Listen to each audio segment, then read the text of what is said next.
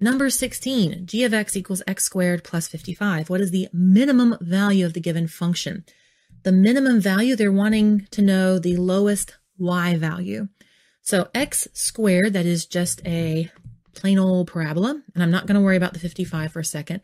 If I was graphing x squared, it would look something like this. Forgive my sloppiness.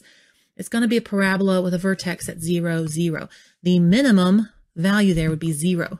The y is 0 at that point. Um, if you were watching this, the whole lengthy video, there was a previous uh, problem that was talking about where I discussed moving uh, functions up, down, left, or right based on this number that's on the outside. So you can go back and rewatch that or just kind of skip ahead a little bit if you don't want to hear this again. If you have a number that's outside the x squared for a function, it's a plain constant number. This is going to move this function up or down on the y-axis, and it is direct. So a positive 55 is going to move it up 55. So this is going to be way, way, way up here. It's going to be up here somewhere, and this is going to be 0, 55.